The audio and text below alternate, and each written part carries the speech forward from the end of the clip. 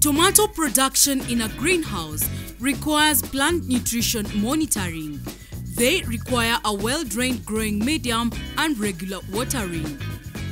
Application of water is best done in the morning and evenings and through irrigation system to ensure even distribution. Brian uses the drip irrigation system that is well aligned with his tomato stems. For watering my tomatoes, I've used the drip line system. Actually, it's the best system as you provide water directly at where the plant is. Um, to manage your tomatoes well, you should be watering regularly.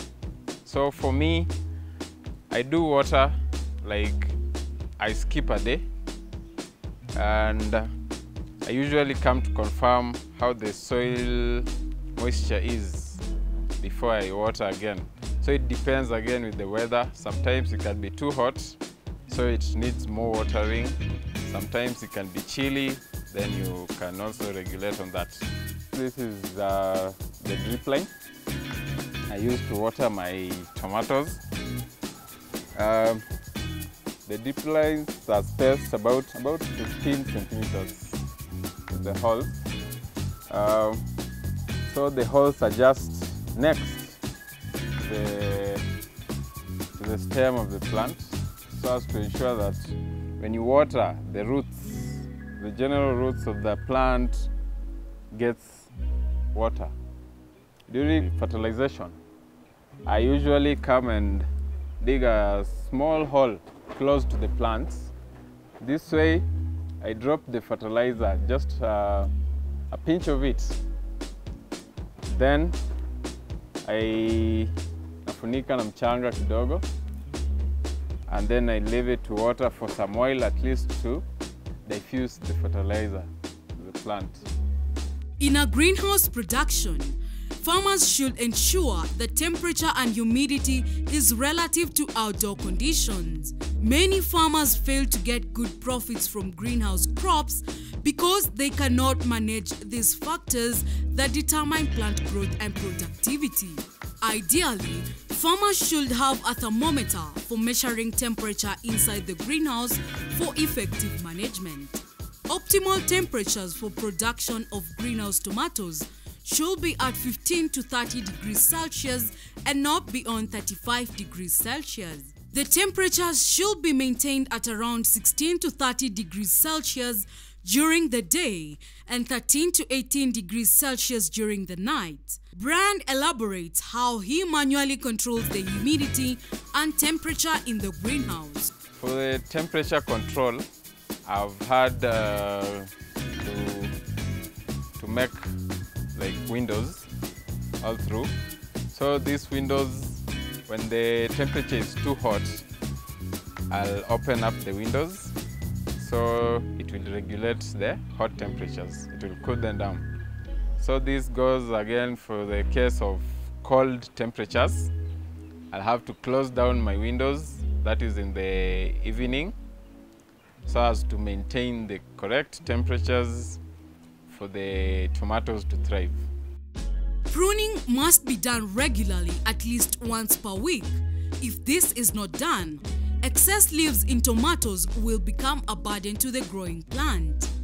This means that the photosynthetic process will be diverted from fruit formation and hence lowering yields. When pruning, branches or suckers must be removed when they are 1 to 3 inches long. This allows for maximum air circulation and simplifies pest and disease control. This cultural practice creates a balance between plant roots and shoot functions in tomato development. Brian carries out the weeding and pruning practices very seriously. This has helped him in ensuring his plants are of good health. Generally, I do hand weeding because I don't want to damage the roots of the plant. So I'll come and just pluck off or uproot the weeds as I move along. Just as simple as that. For the tomato management, you should always prune in time. So at the early stage, you are not supposed to prune because the leaves are the one making the food for the plant. So as it grows, it will start flowering, then fruiting. So at the stage where it has formed the fruit and the fruit is uh, like almost mature, you now start pruning.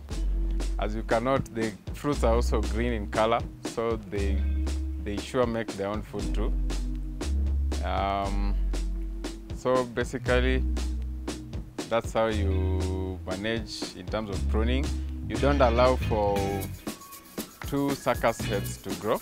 That is to ensure that the plant grows to that level, whereby you'll come again and start laying your plants so as it continues growing, you continue reaping from it. Pruning is simple.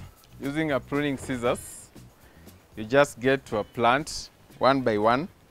So you just check on the leaves that are not that are not functioning anymore. You cut off. I prune to increase production and to maintain the general growth of the plant and to reduce the leaves so as to maintain a cool balance of fresh air and temperatures in the greenhouse. You also prune, you prune the fruits which are small so as to ensure that the fruits that have matured grow to a big size for the market. There are pests and diseases that attack the tomato plants inside a greenhouse. These include moths, cutworms, aphids, nematodes, mites, and the red spider. To control these challenges, a farmer should spray the tomatoes with insecticides. Aside from using inorganic pesticides, Brian has done research and implemented a system where he's able to organically control the pests on his farm. He elaborates more on the techniques that he uses. I know you're wondering why I've intercropped my tomatoes with uh, spring onions. Um, generally, I came to find out that spring onions produce a certain scent which is repellent to insects. So it also helps me maintain um, insect-free environment for my tomatoes. Yeah, so generally I planted this. Okay, I'm planning to split them and add them to the other species. Just like any other business venture, there are several challenges that a tomato greenhouse farmer is likely to experience. Some of these challenges are pests and diseases such as blight, aphids and nematodes, use of uncertified seeds, and lack of knowledge and information on greenhouse farming. Brian has experienced some of these challenges. He tells of his shortcomings. Some of the challenges you can face with tomatoes are the wilt, there's the fusarium wilt and the bacterial wilt, which is very devastating as it can, it can clear all your plants in a greenhouse. I've managed to find out that uh, thrives well in acidic soil and this is caused probably with the fertilizer. So after some time, you should do soil tests to know the pH of your soil so that you can be recommended the best uh, calcium or calcitic lime to use to restore the pH of your soil. Greenhouse farming reduces radiation for tomato crops to produce more efficiently. A greenhouse production produces 24 times as compared to traditional open field farming.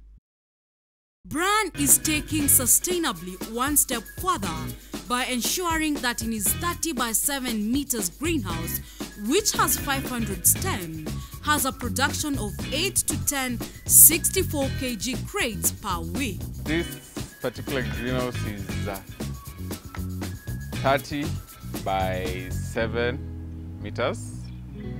I've planted 500 stems of tomatoes. Um, in such a greenhouse with 500 plants, I expect roughly about 8 crates harvest. I harvest once a week. When it starts to, to ripen, it starts with uh, maybe two crates. Then after a while, it keeps on increasing. Tomatoes grown in a greenhouse have a shelf life of 21 days compared with those grown in an open field which are 14 days.